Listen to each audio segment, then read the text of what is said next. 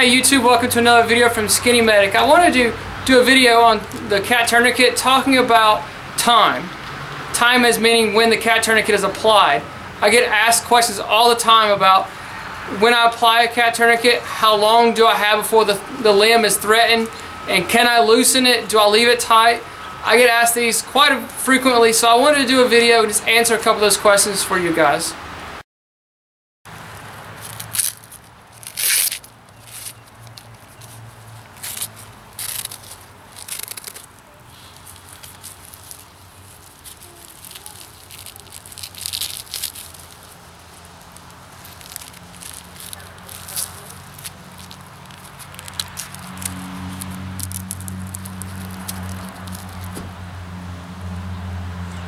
So as you can see here on the cat tourniquet, it does have a place to write the time that you apply the tourniquet.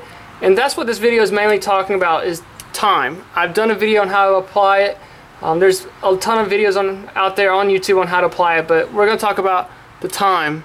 Generally speaking, the time frame for the tourniquet is two to six hours. After you apply it, then you start really looking into the possibility of losing the extremity or some dangerous things happening inside the extremity.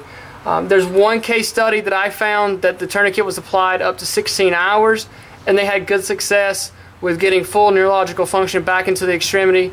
Um, I do know they use tourniquets in surgery for long periods of time and they've been doing that for a while now.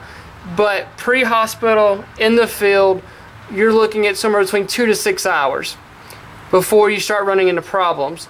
Of course, saying with two to six hours, you always want to be on the lesser end of that. You know, I would rather if I could get a patient to the hospital and get them to surgery in two hours than six, of course, I would much rather have them than two hours. So here we are talking about between two to six hours, then you start building up toxins, the extremity is going to get acidotic, um, and you're, you're preventing blood flow, which carries, of course carries oxygen, so you're not getting oxygen to the extremity, um, and it's getting acidotic. So there's a whole lot of chemical imbalances going on with the extremity that they're going to have to fix beyond just fixing the extremity and getting um, blood flow back. They're going to have to fix the pH level of the body.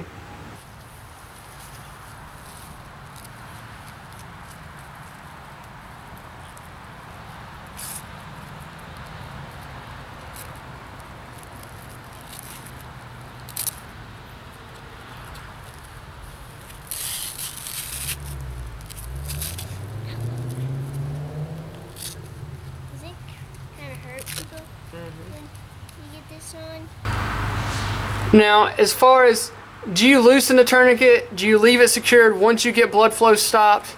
There's really two schools of thought here.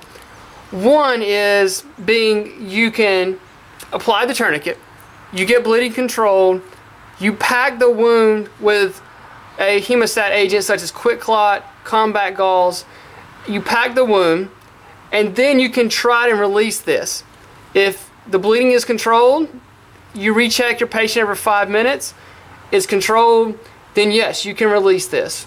If you have some kind of uh, clotting agent that's packed in the wound to help the body with the clotting process. And the other school thought is no, that once you have the tourniquet tied tight, it's secured, bleeding is controlled, then no, then you don't loosen it. Um, you let surgery do it. So I can see both sides of the story. If it's going to be a long period of time where this is going to be applied, this is painful. This hurts. And of course, so does packing a wound. But if you can pack the wound and release the tourniquet to make sure 100% sure that you're, there's no bleeding going on, then that's your decision. But if you're applying this tourniquet, it's a life-threatening injury. We've talked about this. You're not applying this just for some minor cut. The patient is fixing to die if you do not apply this tourniquet. So then you're talking about life over limb. So I would rather save someone's life and they lose their arm than for me to let them die. So life over limb comes into play. So that's a decision that you're going to have to make. There we go. We saved your life.